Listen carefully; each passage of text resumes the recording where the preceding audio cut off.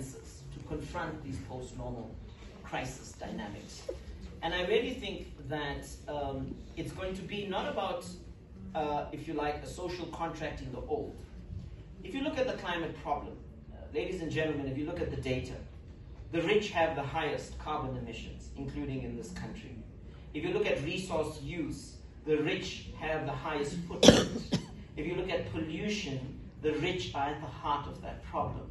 So the kind of social contract we're talking about is going to have to be telling those who are responsible for the problem to deal with it. Okay? This means wealth taxes. This means ecological taxes, etc.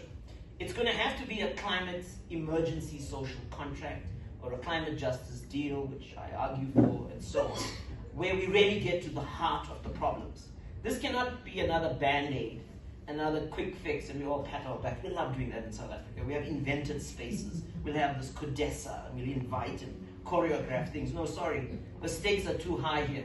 And we're going to have to have those hard conversations to crystallize that consensus we need to take this country forward. Give it, give it a livable, just, and democratic future. If you want me to protect you, rich people, vote for me.